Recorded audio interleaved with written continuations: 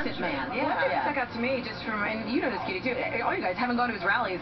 Our embed that covers him, Ali Vitale, made this really great point that it was like, um, it was like being at a rally in some ways, but without the spontaneity. I mean, because you had the call a and Trump response. Yeah, you had Yeah. the, you know, the build a wall Yeah. chance, you had the USA chance, Yeah. but it was completely scripted. It was all on prompter, and he really stayed on script and on message. Pretty much. A couple of believe me's in there. What did you think about uh, Trump on prompter? Trump on prompter is not as exciting as Trump off prompter. But, again, it went. It went.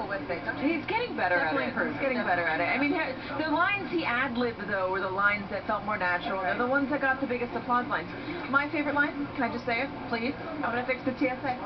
People love that that. Was that Not off? No, that was in the script. That was. It was a one line. It had no bearing to anything Yeah. else. And if you out of nowhere. have not been to a rally or a big political event like this, you may not know that TSA, the blue shirts, are here as well, working the perimeter to help scan bags because there aren't enough Secret Service officers for all the politics that's happening this If year. anybody knows the TSA, though, go and